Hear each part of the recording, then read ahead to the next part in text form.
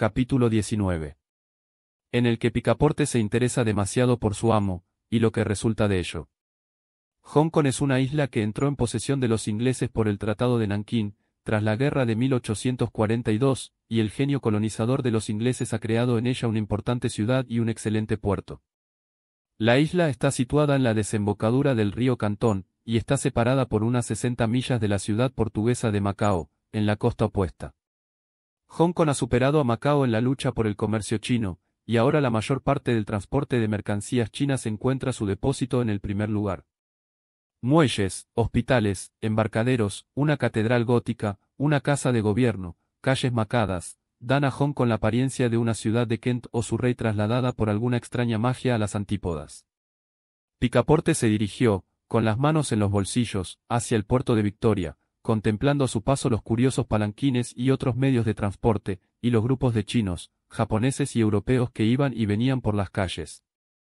Hong Kong le pareció un lugar similar a Bombay, Calcuta y Singapur, ya que, al igual que estos, mostraba por doquier la evidencia de la supremacía inglesa. En el puerto de Victoria encontró una masa confusa de barcos de todas las naciones, ingleses, franceses, americanos y holandeses, hombres de guerra y barcos comerciales, juncos japoneses y chinos, sempas, tancas y barcos de flores, que formaban tantos parterres flotantes. Picaporte observó entre la multitud a varios nativos que parecían muy viejos y vestían de amarillo. Al entrar en una barbería para afeitarse, se enteró de que todos estos ancianos tenían al menos 80 años, edad a la que se les permite vestir de amarillo, que es el color imperial. Picaporte, sin saber exactamente por qué, pensó que esto era muy divertido. Al llegar al muelle donde debían embarcar en el Carnatic, no se asombró de encontrar a Fix caminando de un lado a otro. El detective parecía muy perturbado y decepcionado. Esto es malo, murmuró Picaporte, para los caballeros del Reform Club. Se dirigió a Fix con una alegre sonrisa, como si no hubiera percibido el disgusto de aquel caballero. El detective tenía, en efecto, buenas razones para lamentar la mala suerte que le perseguía. La orden judicial no había llegado. Estaba ciertamente en camino, pero como ciertamente no podía llegar ahora a Hong Kong hasta dentro de varios días, y, siendo este el último territorio inglés en la ruta de Mr. Fogg, el ladrón se escaparía, a no ser que consiguiera detenerlo. Bien, Monsieur Fix, dijo Picaporte, ¿habéis decidido ir con nosotros hasta América? Sí, respondió Fix, a través de sus dientes apretados. Bien, exclamó Picaporte, riendo a carcajadas. Sabía que no podrías convencerte de separarte de nosotros. Ven a ocupar tu litera. Entraron en la oficina del vapor y consiguieron camarotes para cuatro personas. El empleado, al entregarles los billetes, les informó de que, al haber terminado las reparaciones del Carnatic, el vapor partiría esa misma noche, y no a la mañana siguiente, como se había anunciado. Eso le vendrá mejor a mi amo, dijo Picaporte. Iré a avisarle. Fix decidió ahora hacer un movimiento audaz, resolvió contarle todo a Picaporte. Parecía ser el único medio posible de retener a Philia Fogg varios días más en Hong Kong. En consecuencia, invitó a su compañero a una taberna que le llamó la atención en el muelle. Al entrar, se encontraron en una gran habitación bellamente decorada, al final de la cual había una gran cama de campaña amueblada con cojines. Varias personas yacían sobre esta cama en un profundo sueño. En las pequeñas mesas dispuestas alrededor de la habitación, unos treinta clientes bebían cerveza inglesa, porter, ginebra y brandy, fumando al mismo tiempo largas pipas de arcilla roja rellenas de bolitas de opio mezcladas con esencia de rosa. De vez en cuando, uno de los fumadores, vencido por el narcótico, se deslizaba por debajo de la mesa, con lo que los camareros, cogiéndolo por la cabeza y los pies, lo llevaban y lo depositaban en la cama. La cama ya soportaba veinte de estos borrachos estupefactos. Fix y Picaporte vieron que se encontraban en un fumadero frecuentado por esas miserables, cadavéricas e idiotas criaturas a las que los comerciantes ingleses venden cada año la miserable droga llamada opio, por valor de un millón cuatrocientas mil libras, miles de ellas dedicadas a uno de los vicios más despreciables que afligen a la humanidad. El gobierno chino ha intentado en vano atajar el mal con leyes estrictas.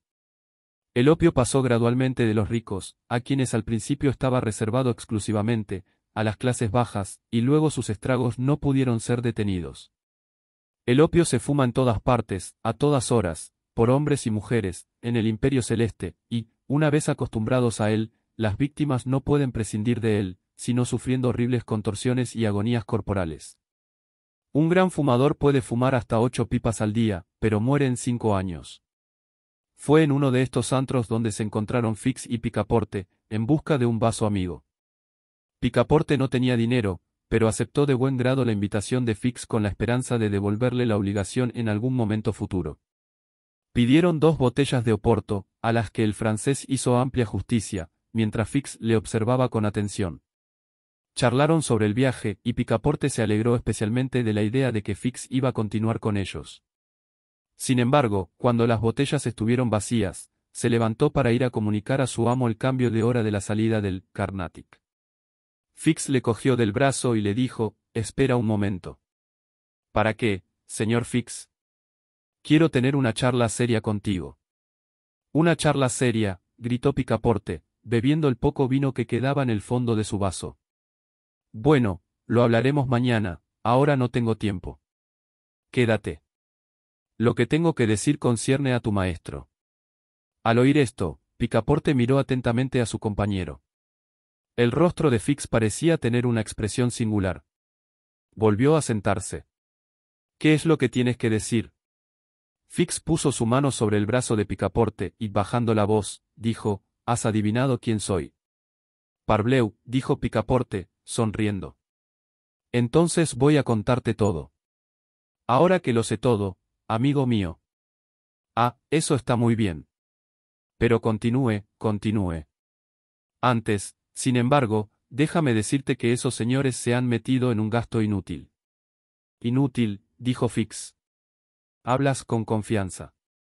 Está claro que no sabes cuán grande es la suma. Por supuesto que sí, respondió Picaporte. Veinte mil libras. Cincuenta y cinco mil, respondió Fix, apretando la mano de su compañero. ¿Qué? gritó el francés. ¿Se ha atrevido Massier Fogg con cincuenta y cinco mil libras? Bueno, con mayor razón para no perder un instante, continuó, levantándose apresuradamente. Fix empujó a Picaporte hacia atrás en su silla, y reanudó, cincuenta y cinco mil libras, y si tengo éxito, recibo dos mil libras.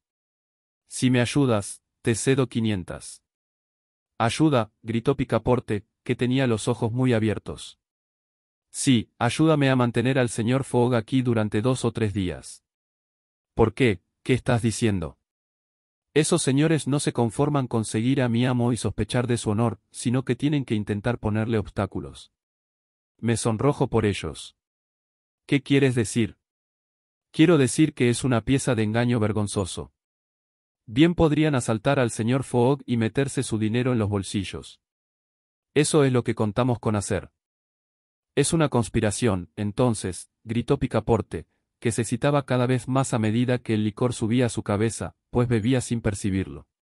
Una verdadera conspiración. Y de caballeros, además.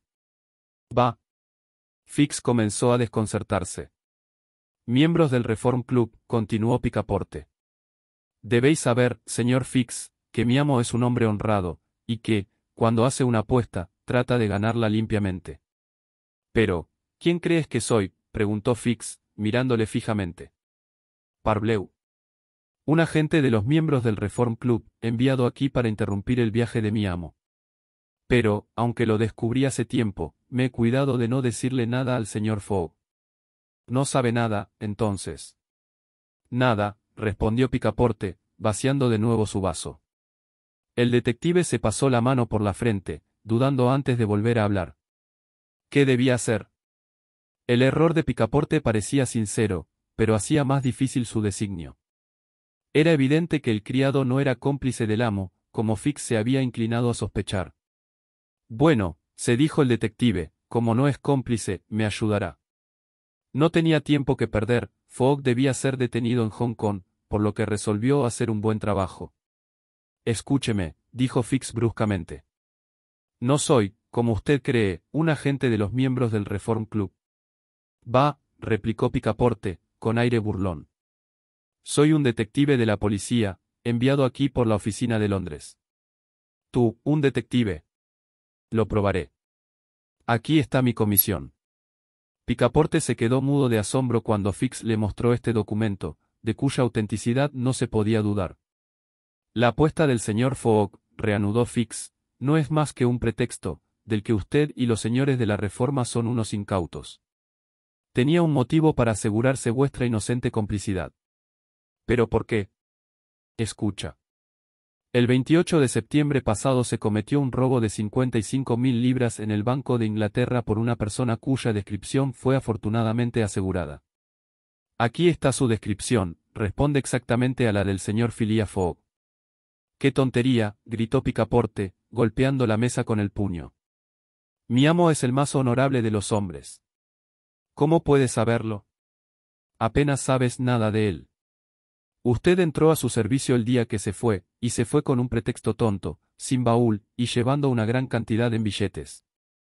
Y, sin embargo, se atreve a afirmar que es un hombre honrado. Sí, sí, repitió el pobre hombre, mecánicamente. ¿Te gustaría ser arrestado como su cómplice? Picaporte, sobrecogido por lo que había oído, se sujetó la cabeza entre las manos y no se atrevió a mirar al detective. Phileas Fogg, el salvador de Aouda, ese hombre valiente y generoso, un ladrón. Y, sin embargo, ¿cuántas presunciones había contra él? Picaporte trató de rechazar las sospechas que se imponían en su mente, no quería creer que su amo fuera culpable. Bueno, ¿qué quieres de mí? dijo al fin, con un esfuerzo. Mira aquí, respondió Fix, he seguido la pista del señor Fogg hasta este lugar, pero hasta ahora no he recibido la orden de arresto por la que envié a Londres. Debe usted ayudarme a retenerlo aquí en Hong Kong. Y. Pero yo. Compartiré con usted las dos mil libras de recompensa ofrecidas por el Banco de Inglaterra. Nunca, respondió Picaporte, que trató de levantarse, pero cayó de espaldas, agotado de mente y cuerpo. Señor Fix, tartamudeó, incluso si lo que usted dice es cierto, si mi amo es realmente el ladrón que usted busca, cosa que niego, he estado, estoy, a su servicio, he visto su generosidad y bondad, y nunca le traicionaré, ni por todo el oro del mundo. Vengo de una aldea donde no se come esa clase de pan. ¿Te niegas? Me niego. Considera que no he dicho nada, dijo Fix, y bebamos. Sí, bebamos. Picaporte se sentía cada vez más rendido a los efectos del licor. Fix, viendo que debía, a todo trance, separarse de su amo, deseaba vencerlo por completo. Sobre la mesa había algunas pipas llenas de opio. Fix puso una en la mano de Picaporte. Este la tomó, se la puso entre los labios, la encendió, dio varias bocanadas, y su cabeza, pesada por la influencia del narcótico, cayó sobre la mesa. Por fin, dijo Fix, viendo a Picaporte inconsciente. El señor Fogg no será informado de la partida del Carnatic, y, si lo es, tendrá que ir sin este maldito francés. Y, tras pagar su cuenta, Fix abandonó la taberna.